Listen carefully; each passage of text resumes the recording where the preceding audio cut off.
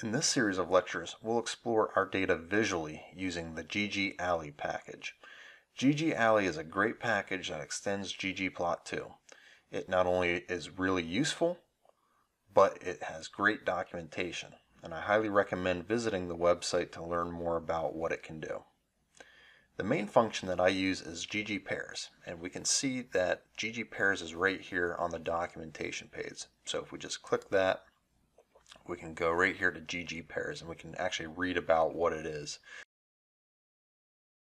So it's a special form of this ggmatrix, which is also another function that GGally has that produces a pairwise comparison of multivariate data.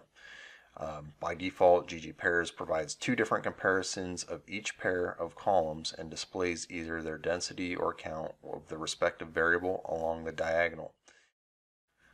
With the different parameter settings, the diagonal can be replaced with the axis values in the variable levels.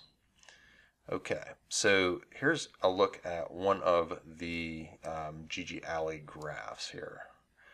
And uh, we can see kind of what it's doing. So over the top, it has some of the features, and then down the side, it has some of the features. So it's basically a correlation type, a correlation style graph essentially you have this this feature total bill is also this feature total bill so tip and tip. So right down the diagonal is um, just basically showing the uh, proportions or the density of that feature. Then down the columns um, it, what it does is it uh, compares the features in different ways. So for this particular feature it's creating a scatter plot between total bill and tip and what it does or what it decides to do is based on a logic. So for example, total bill and tip are two continuous features, so it decides to create a scatter plot here down the column. Um, and we can see that the next one is uh, sex and total bill. So it's created two histograms here for, um, the, I'm assuming, the two levels of sex, which is probably male and female.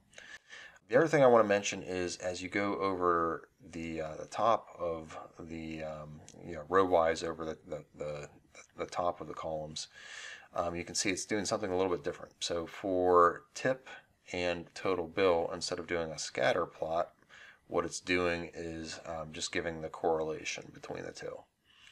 Uh, for sex and um, total bill, it's what it's doing is uh, creating two um, box plots so you can see kind of the difference between okay one sex um, so say this is male has a lower total bill than say female. Um, the uh, so, th so it's basically um, create, giving you a different visualization. The ones that I find most useful are the ones here on the top because this really shows me kind of um, uh, enough information, uh, especially with categorical data, to suggest um, you know what the uh, what you know if there's differences between those features that need to be investigated further.